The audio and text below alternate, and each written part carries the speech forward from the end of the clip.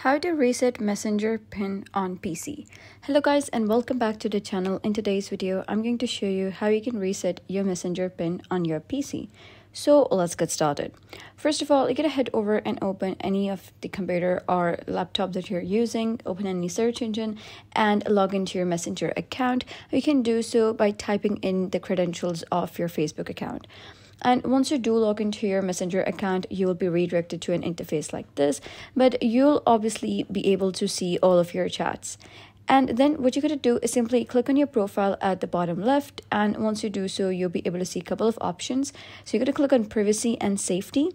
And then you're going to click on end to end encrypted chats where you can manage your end to end encrypted chat settings. So once you do click on that, what you're going to do is click on message storage, manage how you store and access your chat history. Simply click on that and then you're going to click on turn on secure storage.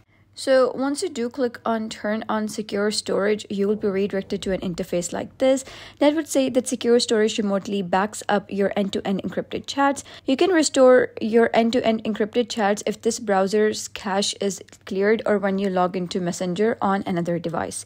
So you can either set up a pin, which is recommended. So you can create a pin that you'll use to restore your end-to-end encrypted chats on other browsers and devices. Or you can also generate a 40 character code that you'll enter to restore your end-to-end encrypted chats on other browsers and devices.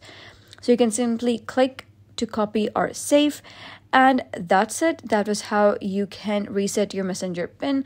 So if you found this guide helpful give it a thumbs up and don't forget to subscribe for more helpful tutorials. I'll see you in the next video